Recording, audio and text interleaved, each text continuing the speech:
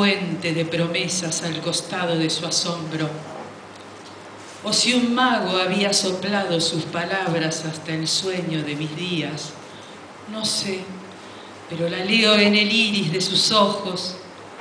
Abandonó mi vientre por codicia, dice. Arrastró mi líquido amniótico por un mundo hambriento que acechaba unos pasos. Se fue en él.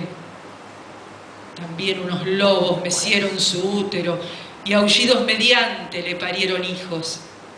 No sé, pero la leo circular, tendiendo la alfombra que amortigue mi caída.